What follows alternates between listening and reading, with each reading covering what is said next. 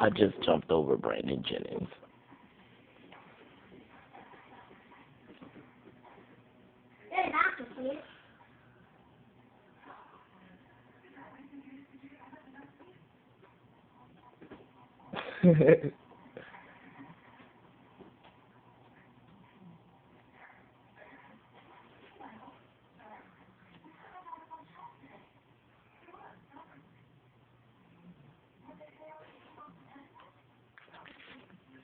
player's only five foot nine.